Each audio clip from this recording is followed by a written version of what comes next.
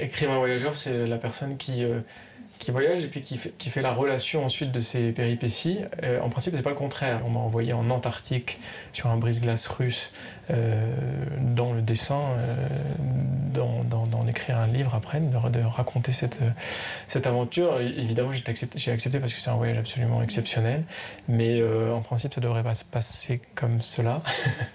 et une chose que j'aime pas trop dans les, dans les récits de voyage aujourd'hui, c'est cette espèce de litanie exhaustive euh, et chronologique euh, de ce que vit l'auteur. Je pense qu'il y a énormément de choses absolument ennuyantes dans les voyages et que l'écrivain a comme devoir de, tout simplement de faire une, synthèse.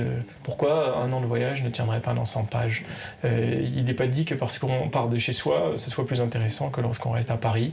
Euh, D'ailleurs, il y a d'excellents écrivains qui, écrivent des grandes œuvres en restant dans leur chambre. Donc il ne faut pas que le voyageur ait cette prétention que parce qu'il est sur la route, euh, d'un coup son existence deviendrait plus fascinante. J'ai toujours essayé d'avoir un fil rouge, un thème, d'avoir une lecture du monde, enfin des régions que, que je visite. Voilà. Ça, a été le cas euh, dans mon premier livre sur Vladivostok, où j'ai de raconter cette ville. Alors je, fais ça à la première personne, tout se passe à travers moi, mais j'essaye de m'effacer et de ne faire pas. C'est comme si mes yeux parlaient en fait. Enfin, avec un petit peu de cerveau qui analyse quand même. Mais euh, voilà, j'ai fait ça ensuite avec ce, livre sur euh, les territoires du Nord en Russie, où la thématique c'est ça qu'est-ce que c'est que le Grand Nord? Mais je crois qu'il faut qu'il y ait un thème dans les récits de voyage.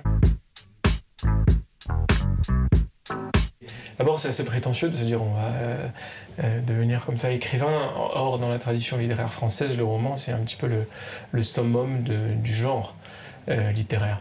Le passage au roman, il s'est fait parce que je me suis retrouvé spectateur de la guerre dans le Donbass, dans l'Est ukrainien.